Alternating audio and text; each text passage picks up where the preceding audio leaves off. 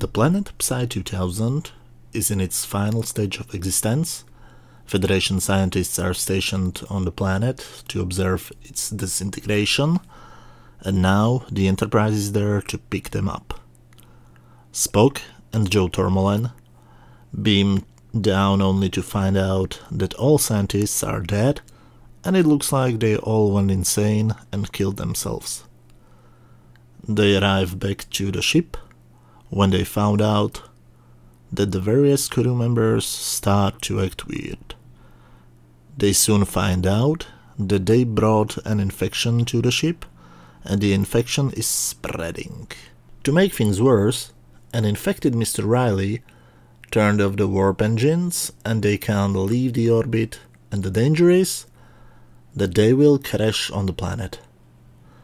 Fun fact, Nurse Christine Chapel appears in this episode, but she officially becomes a crew member a few episodes later, proving that the original broadcast order was definitely different from the planned order. There is one big problem with this episode. Everybody behaves like a moron, even before the infection gets on board. First of all, Joe. He is on an unknown planet where everybody died, possibly from an unknown disease. So what does he do? As a real professional, he takes off his glove, making his spacesuit completely irrelevant. Not only that, he touches the frozen table and therefore gets infected. Spock then arrives and tells him not to touch anything after he touched the table, and Joe doesn't react to it at all. Later in the scene where Joe tries to kill himself and Riley with Sulu try to save his life, don't you just love how all the other people just sit quietly and watch them like they're watching a theatrical performance and not a fight for life?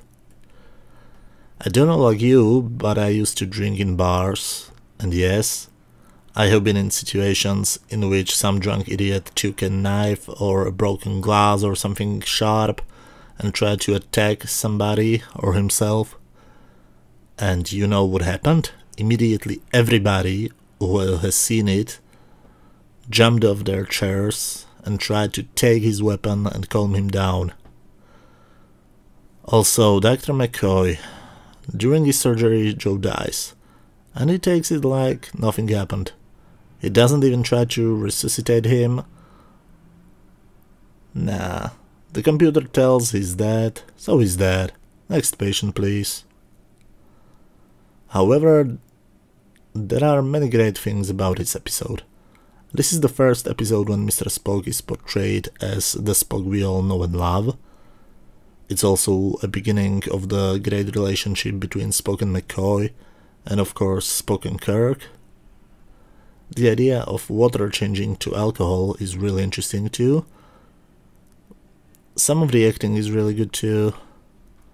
The time travel aspect is interesting too.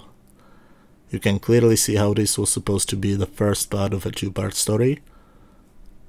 It's a pity they didn't elaborate on it more.